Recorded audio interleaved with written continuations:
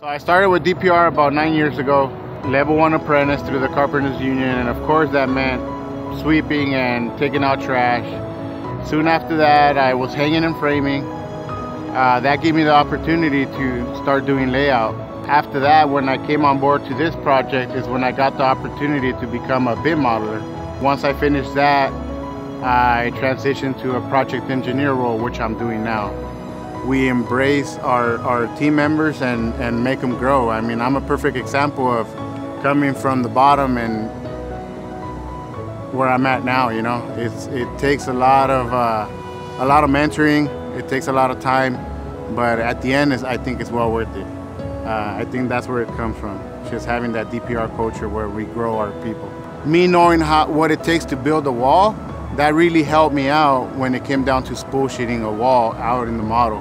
Why? Because I knew what the model had in content wise, right? So if I went out in the field, it was easy for me to identify if, if something was wrong or not.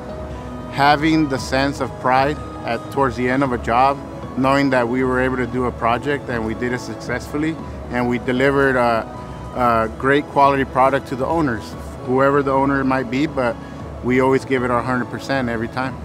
Uh, always keep your word. If you say something, follow through. Keeping your word and doing what you say takes you a long ways. I see myself still growing.